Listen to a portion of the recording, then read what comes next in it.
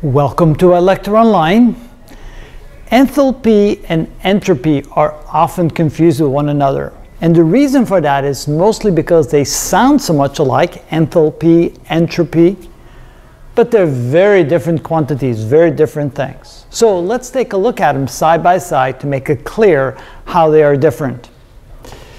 First of all, enthalpy is a measure of energy that is being exchanged. Entropy is a measure of the disorder of a system. So as something becomes more disorderly, entropy goes up, and that's the natural state of being. It, things tend to become more disordered, and that entropy goes up accordingly. So it's a measure of disorder as opposed to enthalpy, which is a measure of the exchange of energy. The equation says that enthalpy is equal to the internal energy of a system plus the product of P times V, which essentially represents the energy needed to expand the system against the environment.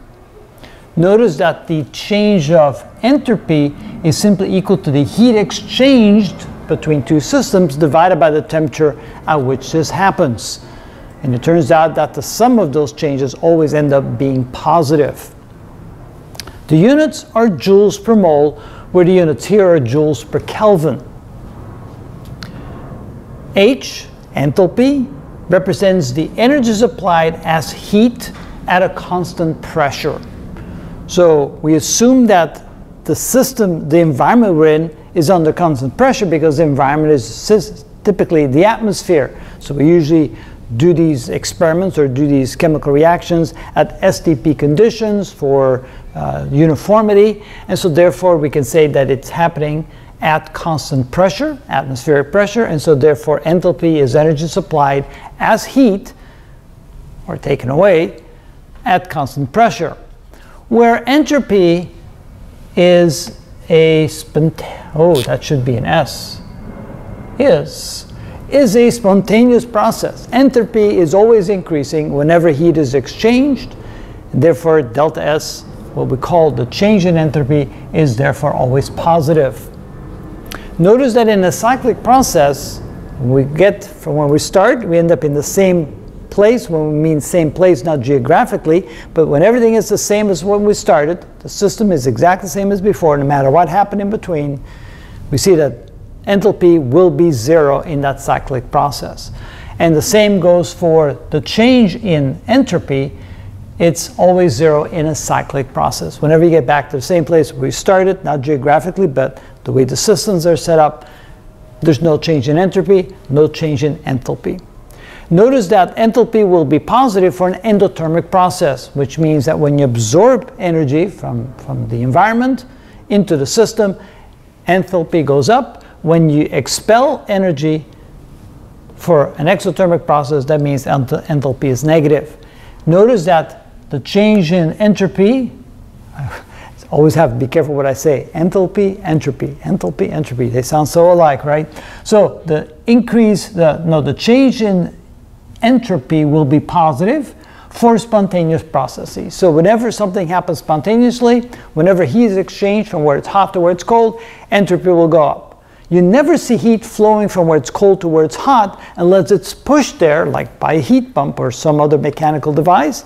So spontaneously, entropy will always be positive because heat will always flow from where it's hot to where it's cold.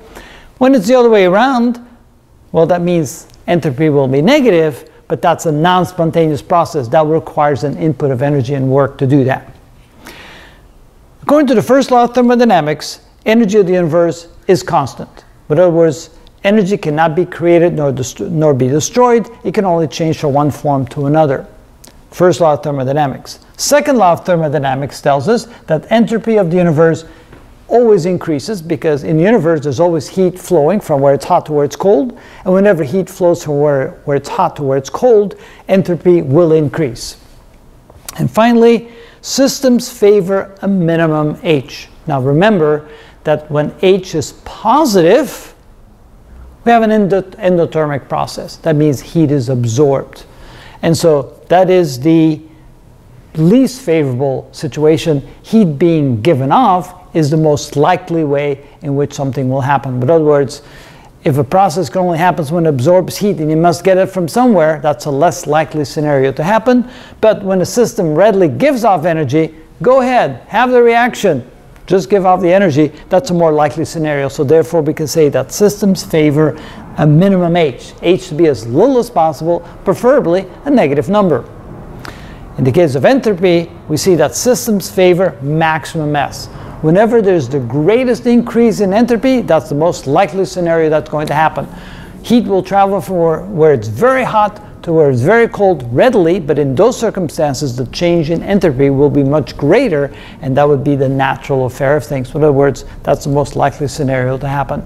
And so again, setting these side by side, I hope this really makes for you, it, that makes it clear for you what the differences are between enthalpy and entropy.